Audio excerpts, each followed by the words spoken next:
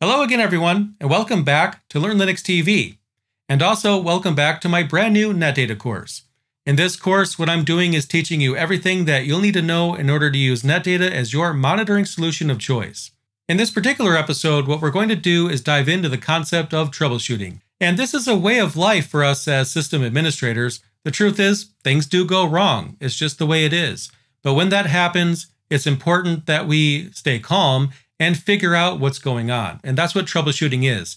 It's all about getting to the root cause of whatever a situation happens to be. So in this video, what we're going to do is dive into troubleshooting concepts around NetData, and let's get started right now.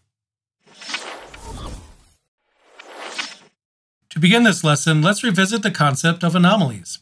An anomaly is something that's out of place and is often something we'll need to dive into. Other times, an anomaly is expected, such as CPU spikes when our systems install updates.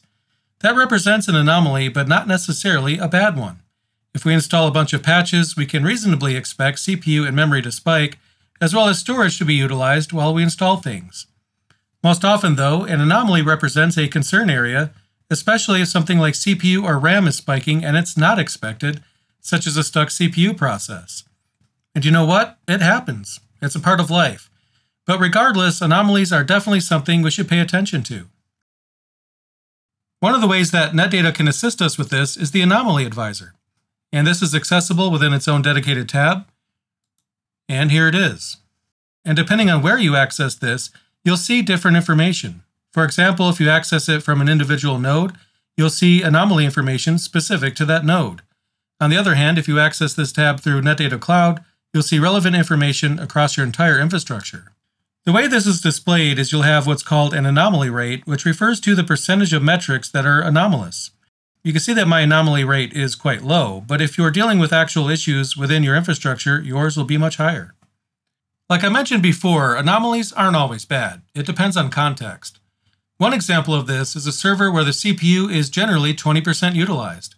That's definitely not a concern at all, but if the usage spikes to 30% briefly, that's considered an anomaly since it's 10% more than usual. However, 30% CPU usage isn't going to be a problem unless it reaches a much higher threshold. Still, any metric that falls outside of this normal baseline represents an anomaly, and as the administrator, you'll decide for yourself which anomalies are worth your time and attention. It's a good idea that we understand how anomalies are detected. The way this works is by machine learning. In general, machine learning is a concept that makes it easy to detect patterns within data, and patterns are definitely an important aspect of detecting anomalies. Within NetData, there are some important design principles at play here. The first of these is that machine learning models should be unsupervised. This means that anything these models can do without bothering you, they should do by themselves. This is a key design principle even outside of anomaly detection, because for the most part, you don't really have to configure anything within NetData. The idea is that the less time you spend configuring alerts and tuning things, the better. That means you can spend less time tweaking things and more time getting your actual job done. Another key design principle within anomaly detection is that whenever possible, machine learning should be in real time. It's important that the data we're seeing is always up to date, otherwise, it'll just slow us down. We really do need to see up to the minute or even up to the second information when we view our charts and metrics, otherwise, the information just won't be as useful. This also means that some CPU utilization is expected in order to provide real-time information, but NetData always keeps its resource footprint as low as possible so that way it doesn't itself cause anomalies. The next design principle is that everything should be integrated. This means that with NetData, machine learning is tightly integrated into the design, so that way it's not an afterthought, it's an important aspect of the entire stack. This also means that having machine learning integrated will tie everything into the troubleshooting practices that we're most used to.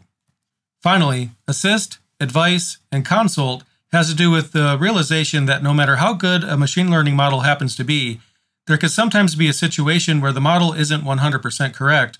And the reason this realization is important is because nobody wants to be woken up in the middle of the night over a false positive.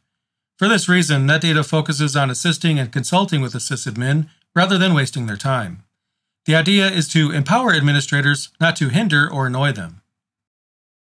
Now that we know more about the machine learning that NetData utilizes in the background, as well as the design principles that drive how the solution is developed, let's take a look at a key feature, metric correlations. While viewing the Metrics tab, you'll see Metric Correlations in the upper right-hand corner, which is turned off by default. So what I'll do is turn it on. And once we do that, we'll see a heading at the top that asks us to select a time frame. To select a time frame, what we'll do is use our mouse and left click and drag to highlight a time period. So randomly, I'm just going to drag right here and select a time period. And keep in mind, we need to select at least 15 seconds for this to work. Once we do that, we'll see other charts show the same time period, which helps us find correlations. Once we've selected a time period, we could click the Find Correlations button to see any data that NetData deems is related. For an example of this, after I selected a time period and there's a bit of a CPU spike, we could see that storage had to do with that particular CPU spike. There was some I.O. pressure on the system. My suggestion for you is to have a click around and practice metric correlation, as it's a good idea to practice this when there's not currently an issue happening, so that way, whenever something does happen, you'll have a bit of muscle memory when it comes to correlating metrics. Now right here I see a spike in resource usage, so what I'll do is turn on metric correlations, and then I'll select a time period that includes the spike I'm curious about, and then again I'll click Find Correlations. And as you can see, all the charts are aligned around the same time that particular event happened. So as you can see, I chose a time period. And right here, NetData sees that there's been 21 correlated metrics associated with the region of time that I highlighted. Again, just play around with this and get some practice on your own. And this way, you could correlate metrics whenever you need to understand better what's going on within your infrastructure. Another key concept I want to make sure that you're aware of is the concept of collectors within NetData. Collectors work in the background to provide per second metrics from thousands of data sources. And these use what's called zero touch setup, which means that collectors are pre installed and start working immediately when NetData starts. So if you're curious about the specifics of why NetData needs little to no configuration in order to work, the reason is due to collectors. Collectors work in the background to gather metrics, and each server will have different collectors active depending on the nature of the server. Think of it this way it wouldn't make sense to have a database engine collector running on a server that doesn't even have a database engine installed. That would be a waste of resources. So, if a particular collector isn't relevant, it's not going to be active. But then again, even if a collector isn't relevant, it's built into NetData in case you need to use it. For that reason, even if a server doesn't have a database engine installed when you first deploy it, if you later install something like MariaDB or another database engine, then NetData will activate that collector as soon as the new service is detected. There are two types of collectors within NetData, internal and external. Internal collectors are those that are built into NetData and are always working. External collectors, on the other hand, are modular and gather relevant metrics specific to the applications and services running on that server. These run as independent processes and communicate with NetData via pipes. Within the documentation page for NetData, we can see a list of common privileges, which gives you a good idea what types of privileges are in use as NetData works. Some of these require permissions from a root context or even a user context. It also goes over file permission and ownership, so that way you can make sure that everything is set up properly. It's rare that you'd ever have to provide privileges manually, since NetData's zero touch mentality takes care of most of this for you. But as an administrator, you should still have a good idea what functions are running on your server, as well as the required permissions for them to run. That way, you have a general idea what's being monitored and what's required from a permission level for NetData to do what it does. If something causes permissions to ever get out of whack, you could use this as a reference when dealing with NetData's permissions. These shouldn't change, but given that many of us are using automation systems, it's possible for a metric to have non standard permissions. If that ever happens, this will give you a general idea how things are supposed to be so you can compare and contrast with what's happening on your server. Another aspect of NetData that's helpful to understand is functions. Functions allow you to quickly access specific infrastructure information without even having to use SSH. This helps us troubleshoot because knowledge is power, and functions allow us to retrieve information we need quickly that we can then use to troubleshoot a situation we might be running into. To better understand this, let's take a look at the processes function. This function gives you a list of all the processes that are running on your server, and the thing is, the information you see here is the same information you can see by running the ps command on any server. By being able to see this information within NetData, then you don't have to open an SSH connection to a server and then run the ps command. You can view that information here within NetData without ever having to leave your browser. So as you can see right here, I have the process table open for one of my servers, and you can see the processes that are running on that server. And this is really helpful because, again, you don't have to reach for a terminal. You can view everything when it comes to the process table right here in NetData. Next, let's talk about common troubleshooting scenarios. This is something I've touched on a few times throughout the series, especially earlier when I mentioned that some anomalies are expected, and one example I gave was that of a server that's used to generate reports and that server wouldn't normally see a resource spike unless someone was actually running a report. In that example, if a user does run a report, it'll likely cause a resource spike, but considering that the server exists for the purpose of running reports, those kinds of resource spikes are expected. Often, though, anomalies are not expected, and sometimes the extent of an anomaly might not be immediately apparent. For example, suppose you have a server where 50% of its memory is generally utilized at any given moment. Over the course of time, you notice that memory usage increases every day, even though the actual usage of that server itself hasn't increased. In some cases, this might expose what's known as a memory leak. Sometimes a bug in an application can cause something like this, and usually if you restart a service, it'll free up unused memory. Now, this could be a one off situation, or maybe you notice that after a few days, memory usage always increases for no apparent reason. If you do see such a thing, it might be a situation in which you should file a bug report with a vendor for the application that you're running. In the meantime, while you're waiting for the app to get fixed, you may need to restart the service every now and then to keep it running properly. And situations like this represent negative trends. Another example of this is storage that starts to fill up. You might notice that metrics within a graph are regularly increasing. Personally, I've seen this situation come up a lot when dealing with application logs that are constantly being written to such as an error message appearing in logs over and over again, and then the log files start to balloon to a ridiculous size. Another culprit of storage related issues can be with a mail server, where you notice that the storage volume is getting full. Meanwhile, users are complaining that emails they're sending are not reaching their destination. In that case, you might have a mail server that's stuck and is unable to send mail, so the queue just gets larger and larger and then saturates your available disk space. While using NetData, negative trends like these are definitely something to pay attention to. Sure, you might have plenty of space on a server and it's not showing any alarms, but if you see available storage space getting less and less, then you'll notice the graphs over time steadily increasing. When a metric is increasing regularly with nothing to blame it on, that's a negative trend. But sometimes negative trends aren't anything to do with application issues. For example, consider a storage server where your users are storing important files. In that situation, a regular increase in used storage space is expected and it's a way of life. As people store files, you'll see available space start to decrease. Again, this is normal, but it can help you ascertain when it's a good time to add another disk to a storage array to handle the growth that you're seeing within your company. In that case, you might have a company policy to add new disks to your array anytime used space reaches 80%. This way, you can stay on top of your server and enable it to grow with your users.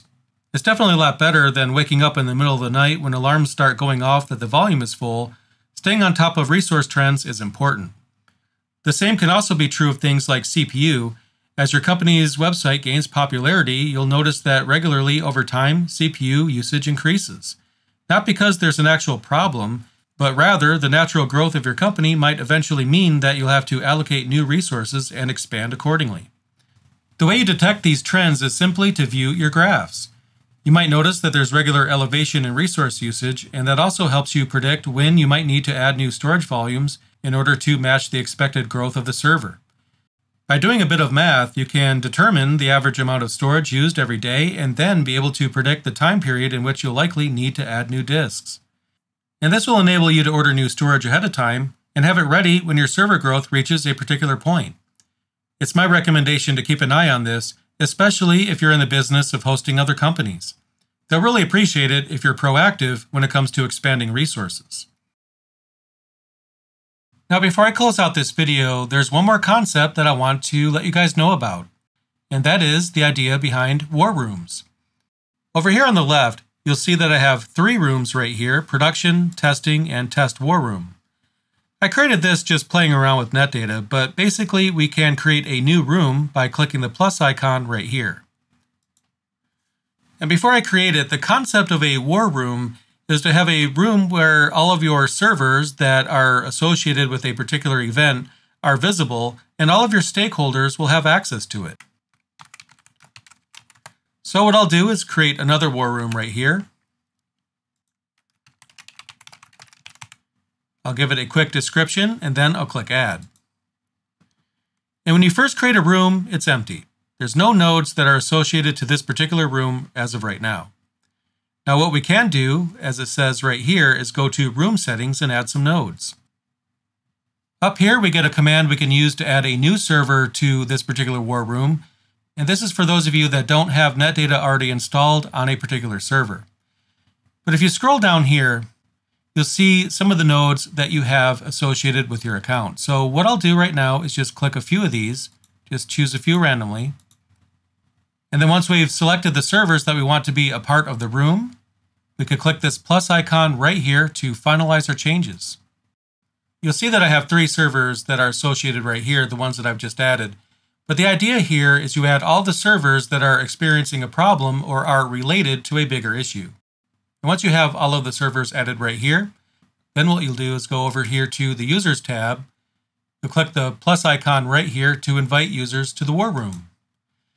And the idea behind this is you'll add stakeholders or anyone that's working on the problem, you'll send them an invite to this particular room, which lets everyone see the same information. Then, during a conference call or something like that, you could all see the same information and troubleshoot it together. And when you add somebody to a room, what you do is you just type their email address in right here, whatever it happens to be, and then you give them a role which will determine their permissions within the room. For a stakeholder, for example, you might add observer. They want to observe the situation. Meanwhile, your system administrators, you'll probably give them the admin role. And I'm not going to add this particular email address right here because it's just a fake email address, but you get the idea. You add their email address right here, you choose a role, and then you click send right here to send them an invite. And that will allow them to see the room. And then after that, you and your stakeholders, as well as your system administrators, can troubleshoot an issue together, which is a really great feature. Having everyone able to see the same information will help you troubleshoot that much faster. And there you go. In this video, we explored troubleshooting concepts around NetData, and I hope it helped you out. And like I mentioned a few times during this video, and also during the entire series, troubleshooting is a way of life when it comes to system administration. When something goes wrong, it's important that we're on our toes, we assess the situation, and then we fix it. And I really hope you enjoyed today's episode. Be sure to click the like button if you did enjoy this episode. And in the next video, which is actually the final video in the series, we're going to explore one more important concept, and that's the concept of best practices. So, as soon as you're ready, I'll meet you over in that episode. But in the meantime, thank you so much for watching this episode.